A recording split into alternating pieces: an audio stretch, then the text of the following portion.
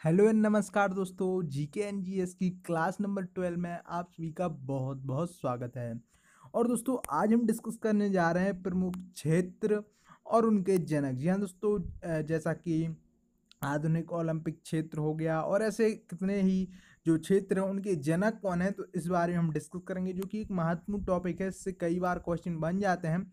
जो आज की वीडियो हमने रखे हैं तो सभी क्षेत्र जिनसे रिलेटेड जिनके जनक पूछे जाते हैं, वो आज की वीडियो में प्रमुख हमने रखे हैं, जो कि इस तरीके से एक क्वेश्चन फ्रेम हो सकता है, जिसका आंसर आपको इस तरीके का आपको वीडियो में पता चल जाएगा। चलिए शुरू करते हैं आपने इस वीडियो को और देखते हैं वो क्वेश्चंस तो दोस्तों, आप इस तरीके से यहाँ पे देख सकते हैं, एक तरीके, एक तरफ़ हमने जो है रखे हैं यहाँ पे क्षेत्र, यानी कि इस तरीके से एक तरफ़ उनके आंसर, ठीक है, जो कि कुछ इस तरीके से हैं।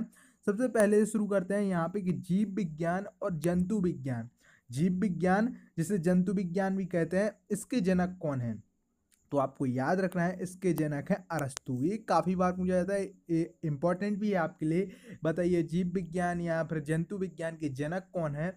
फादर ऑफ़ जंतु विज्ञान तो आपको याद रखना है कि अरस्तु जो है जीव विज्ञान के जो है जनक हैं, ठीक है? अगला आता है रसायन विज्ञान। इसके जनक कौन है? तो आपको याद रखना है, लेवोजियर जो है रसायन विज्ञान के जनक हैं। तो ये काफ़ी इंपॉर्टेंट तरीके से क्वेश्चन बन जाते हैं, ठीक है?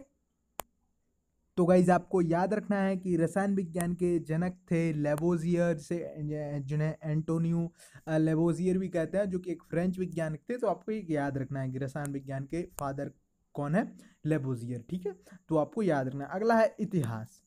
इतिहास बहुत ही ईजी है, इसके तो सबको पता ही होगा। हेरोडिट हेरोडोटस जो है, इतिहास के फादर कहे जाते हैं। यानी कि जनक जो है, इतिहास के हेरोडोटस हैं, ठीक है? तो ये आपको याद रखना है। ये भी एक काफ़ी इंपॉर्टेंट आपका क्वेश्चन बन जाता है, ठीक है? अगला है भूगोल। भूगोल के जनक कौन है? तो आपको याद रखना है, एरेटोस्थनीज, जो है, एरेटोस्थनीज जो है आपके भूगोल के जनक है, यानी कि फादर ऑफ़ भूगोल, एरेटोस्थनीज जो है आपके भूगोल के जनक है, ठीक है? अब आता है आधुनिक भूगोल, यानी कि आधुनिक भूगोल के आपके जनक कौन है? तो आपका आंसर हो जाएगा एलेक्जेंडर बॉन हम्बोल्ट ठीक है? अलेक्जेंडर बॉन हम्बर्ट जो है, आपके आधुनिक भूगोल के जनक हैं। तो ये आपको याद रखना है, ठीक है? और अगला है कुछ इस तरीके से आपके सामने अर्थशास्त्र, यानी कि इकोनॉमिक्स इकोनॉमिक्स के जनक हैं एडम स्मिथ। अगर आपने इकोनॉमिक्स पढ़ी है तो आपको ये आसानी से याद होगा तो आप आसानी से इस तरीके के क्वेश्चन को सही कर सकते हैं, ठीक है? अगला है वनस्पति शास्त्र। वनस्पति शास्त्र के जनक हैं थियोफ्रेस्टस। जी हाँ दोस्तों, थियोफ्रेस्टस जो है वनस्पति शास्त्र के जनक यानी कि फादर ऑफ़ वनस्पति शास्त्र तो आपका आंसर हो जाएगा थियोफ्रेस्टस, ठीक है? अगला है संस्कृत व्याकरण। ये काफ़ी इंपॉर्टेंट है, इस पर ज़्यादातर लोग ध्यान नहीं देते हैं, लेकिन ये काफ़ी इंपॉर्टेंट क्वेश्चन है। कई बार जो है बना है आपके एग्ज़ाम में तो आपको याद रखना है, पाणनी जो है संस्कृत व्याकरण के आपके जनक हैं। तो आपको ये याद रखना है, जो है पाणनी जो है आपके संस्कृत व्याकरण के जनक हैं, ठीक है? अगला देख लेते हैं जो कि आपके सामने कुछ इस प्रकार से भारतीय पुनर्जागरण। भारतीय पुनर्जागरण एक काफ़ी इंपॉर्टेंट क्वेश्चन बन जाता है, जो कि एक मुख्य आपका प्रश्न बनता है इस तरीके से। तो आपको याद रखना है, भारतीय पुनर्जागरण के जनक माने जाते हैं राजा राम मोहन राय, जो कि एक इंपॉर्टेंट क्वेश्चन है। अगला है आयुर्वेद चिकित्सा। आयुर्वेद आयुर्वेद चिकित्सा के जनक कौन माने जाते हैं? तो वो है चरक। यहाँ तो चरक जो है आयुर्वेद चिकित्सा के जनक, यानी कि फादर ऑफ़ आयुर्वेद। चिकित्सा जो है चरक माने जाते हैं, ठीक है? अगला देख लेते हैं जो कि आपके सामने है, यूनानी चिकित्सा विज्ञान। यूनानी चिकित्सा विज्ञान के जनक हैं हिप्पोक्रेटस तो आपको याद रखना है, हिप्पोक्रेटस जो है यूनानी चिकित्सा विज्ञान के जनक हैं, ठीक है? थीके? अगला है भारत में नागरिक सेवा के जनक। जो भारत में नागरिक सेवा है, उसके जनक कौन है? तो आपका आंसर हो जाएगा, लॉर्ड कार्नवालिस। यस तो लॉर्ड कार्नवालिस जो है भारत भारत में नागरिक सेवा के जनक माने जाते हैं। ठीक है तो आपका ये आंसर बन जाएगा। ठीक है, अगला है भारत में आधुनिक शिक्षा के जनक। आधुनिक शिक्षा के जनक कौन है? तो आपका आंसर है Shri Charles Grant.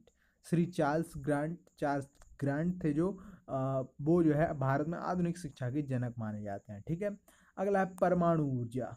जो परमाणु ऊर्जा है, इसके जनक माने जाते हैं डॉक्टर होमी जहांगीर भाभा।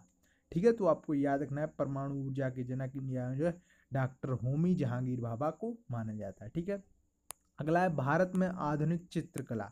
भारत में आधुनिक चित्रकला के जनक कौन माने जाते हैं? तो आपका आंसर हो जाएगा नंदलाल बोस। ठीक है तो गाइज़ आपको याद रखना है कि भारत में आधुनिक चित्रकला के जनक जो है माने जाते हैं, वो है नंदलाल बोस। उससे पहले मैं आपको बता दूँ कि परमाणु ऊर्जा के जो डॉक्टर होमी जहांगीर भाभा है, कहीं कहीं आपको सर्च करते हैं तो आर्टिकल्स में आपको होमी जे भाभा के नाम से मिलेंगे, जो कि जे का मतलब है जहांगीर। तो इनका शॉर्ट नेम आप होमी जे भाभा से भी जान सकते हैं। इनके बारे में आपको काफ़ी सारे आर्टिकल मिल जाएँगे। इंटरनेट पे जा, जहाँ इनके बारे में आप पढ़ सकते हैं। क्योंकि जो डॉक्टर होमी जे भाभा है, वो आटोमिक एनर्जी के फादर माने जाते हैं तो आप आसानी से इन गूगल पे भी सर्च कर सकते हैं। आपको बहुत सारे आर्टिकल मिल जाएँगे तो इनके बारे में आप जान सकते हैं, ठीक है? तो आपको याद रखना है कि ऑटोमिक एनर्जी के जो फादर हैं, वो है होमी जे भाभा तो आपको याद रखना है, कभी भी आपके एग्ज़ाम में पूछा जा सकता है। अगला है भारत में आधुनिक चित्रकला तो नंदलाल बोस आधुनिक चित्रकला के भारत में जन्मदाता माने जाते हैं कि जनक माने जाते हैं। अगला है पार्लियामेंट की जननी। पार्लियामेंट की जननी किसे माना जाता है? तो आपका आंसर हो जाएगा बेटे, ठीक है? तो ये आपको याद रखना है। आधुनिक लोकतंत्र की जननी, संयुक्त राज्य अमेरिका। जी हाँ दोस्तों, संयुक्त राज्य अमेरिका यानी कि यूनाइटेड स्टेट ऑफ़ अमेरिका अगला है श्वेत क्रांति। श्वेत क्रांति के जनक माने जाते हैं डॉक्टर बर्गीज कुरियन। ठीक है तो आपको याद रखना है, डॉक्टर बर्गीज कुरियन। और दोस्तों, जो श्वेत क्रांति के बाद हमारा अगला क्वेश्चन बन जाता है कुछ इस प्रकार से आधुनिक ओलंपिक खेल के जन्मदाता कौन है? तो पियर ए डी कुवर्टिन। जो हमारा क्वेश्चन था, उसका आंसर आपका हो जाएगा थंबनेल में तो वो हो जाएगा आपका पियर ए डी कुवर्टिन, जो है आपके आधुनिक ओलंपिक ओलंपिक खेल के संस्थापक हैं, यानी कि जनक हैं, ठीक है? अगला है रूसी क्रांति, यानी कि रशियन क्रांति के जो जनक हैं, वो है निकोलई लेनिन। इस तरीके की भी क्वेश्चन बन जाते हैं, जो इम्पोर्टेंट है तो आपको याद रखना है। अगला है गज़ल। गज़ल के जन्मदाता है मिर्ज़ा गालिब। एक इस तरीके का क्वेश्चन भी बन सकता है तो यहाँ पे मैंने यहाँ पे रख लिया। तो आपको याद रखना है, गज़ल के जनक माने जाते हैं मिर्ज़ा गालिब, ठीक है? आधुनिक उदारवाद। ये काफ़ी इम्पोर्टेंट है। एक, दो बार काफ़ी इम्पोर्टेंट एग्ज़ाम में बन जाता है और स्टेट लेवल में तो ये कई बार आ चुका है। तो आपको याद रखना है कि जॉन लॉक जो है आधुनिक उदारवाद के जन्मदाता हैं, यानी कि जनक हैं। तो ये आपके लिए काफ़ी इम्पोर्टेंट है, ठीक है? तो फ्रेंड ये थे काफ़ी इंपॉर्टेंट क्वेश्चन जो आज क्षेत्र हैं, इनसे रिलेटेड जो क्वेश्चन बन जाते हैं, काफ़ी इंपॉर्टेंट पर्सनस हैं जिनके बारे में आज इस वीडियो में डिस्कस कराया ऐसे बहुत सारे क्षेत्र हैं जिनके रिलेटेड क्वेश्चन बन सकते हैं। तो आपको उन सारों को पढ़ लेना है और ऐसी ही बहुत सारी वीडियो के लिए आप चैनल को सब्सक्राइब कीजिए और भी अगर आप चाहते हैं इस तरीके के क्वेश्चन तो हमें कमेंट करके ज़रूर बताइए ताकि ऐसी हम और बहुत सारी वीडियो आपके लिए ला सकें और ऐसे बहुत सारे क्वेश्चन आपके लिए यहाँ पे ला सकें तो आप हमें कमेंट ज़रूर कीजिए और चैनल को सब्सक्राइब कर लीजिए ऐसी ढेर सारी वीडियो के लिए ताकि इस तरीके की एजुकेशनल वीडियो आपको मिलती रहें और लाइक कीजिए इस वीडियो को शेयर ज़रूर कीजिए अपने दोस्तों के साथ ताकि वो भी इस तरीके की वीडियो देख सकें। और बेल आइकन पे क्लिक कर दिए ताकि अगर नई वीडियो अपलोड हो हमारे चैनल पे तो वो आपको तुरंत मिल जाए। तो मिलते हैं नई वीडियो के साथ। तब तक फ्रेंड नमस्कार। Thanks for watching take care bye